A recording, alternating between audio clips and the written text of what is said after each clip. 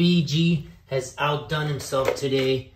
Okay, dude, this is a big bad Nerf gun. This is what this is.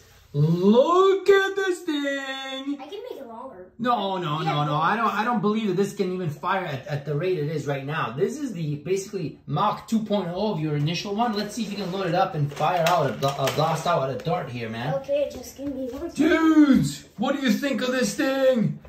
This definitely is a big bad Fortnite Nerf blaster. Wow. Lock and load. I would just fire it on the on the ground, but okay. Oh, it fell out. It flew out. It actually blasts.